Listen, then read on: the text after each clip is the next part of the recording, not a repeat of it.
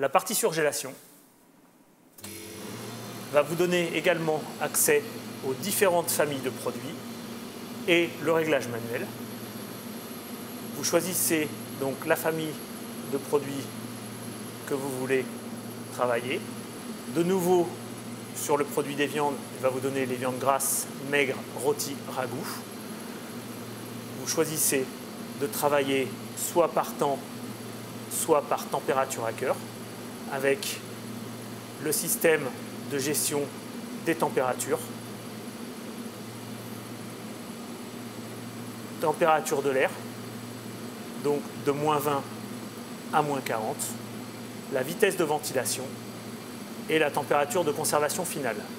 À partir du moment où vous avez choisi, vous validez.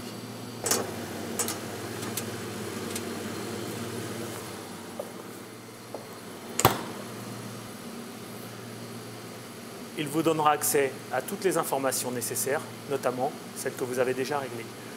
Vous pouvez néanmoins régler les vitesses de ventilation en cours de cycle.